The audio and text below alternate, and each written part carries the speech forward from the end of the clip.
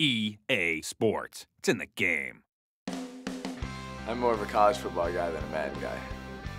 It's younger, you know, kids are playing for the love of the game, they're not getting paid for it. Plus the rivalries are unparalleled by any other games anywhere uh, because you're having Florida, Florida State, Michigan, Ohio State, USC, Notre Dame. The best rivalries uh, in the world are in college football what you can experience from the rivalry games, um, from home and away, uh, to experiencing the crowds, to the plays. I think it's pretty authentic. Every year it's getting better and better, and that's why one reason I like college better is I think it's more realistic to how the players actually play. I enjoy playing uh, with teams that run the triple option with Georgia Tech, Air Force, Navy, and uh, that's why I enjoy, I enjoy playing it more.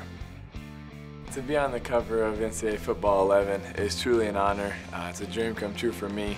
I've been playing the game since I was six or seven and now have the opportunity to be on the cover of so many great athletes and people that I look up to and to be on the cover is truly a blessing.